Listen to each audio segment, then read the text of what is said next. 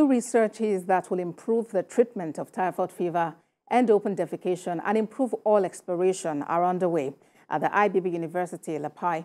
This is happening after three researchers secured a 70 million naira grant from TETFund to research in those fields.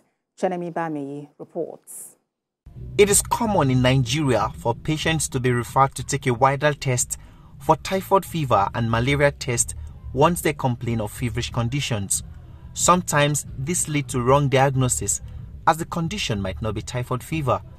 A professor of pharmacological biochemistry and molecular biology at the IBB University, Dixon Achimugu, is embarking on a research to aid the treatment of typhoid fever through a grant provided by TETFund.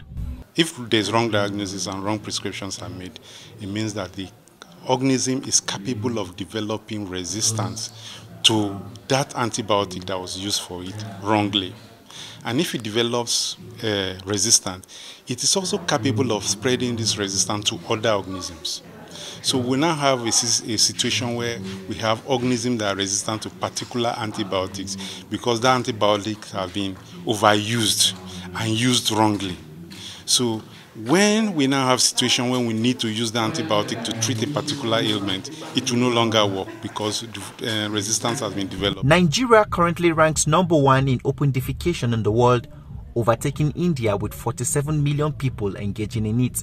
Another researcher and professor of environmental science, Naomi John, is researching into modalities that will involve the participation of the people in ending it. When everybody is involved, that means everybody will be a stakeholder and everybody will own the process.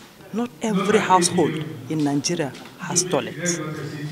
That is why they are using the avenue that is available to them to open the defecate. While the world is advancing into clean energy solutions, a new research by Dr. Ishak Yusuf into forensic re-evaluation of petroleum systems and reservoir geophysics in Nigeria inland basins has also commenced in Nasarawa, which is in Dobi, that all those reserves can be harnessed to kind of buttress our reserve estimate so that we know we have enough for economic growth. We are hoping that all of this will contribute to uh, our societal development, to the national development. Each of them has its own contribution. This research has the potential to improve the treatment of typhoid in Nigerian hospitals and also put an end to open defecation by the participatory solution being researched on. Chenemi Bami, TVC News, Lapai.